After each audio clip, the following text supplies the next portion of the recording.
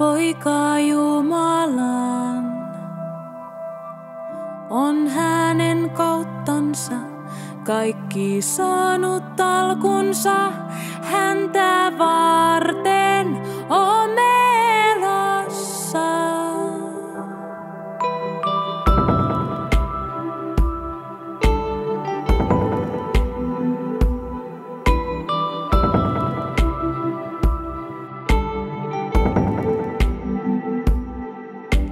Saapui meidän luoksemme, jätti taivaan meidän vuoksemme.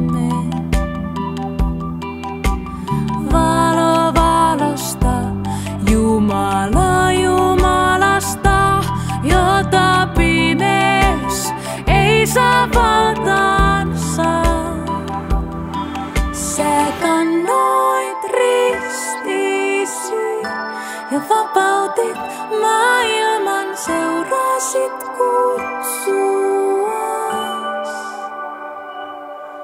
Myös mulle suo voima kantaa ristini ja seurata sinua. Sä kärsit taakat maailman.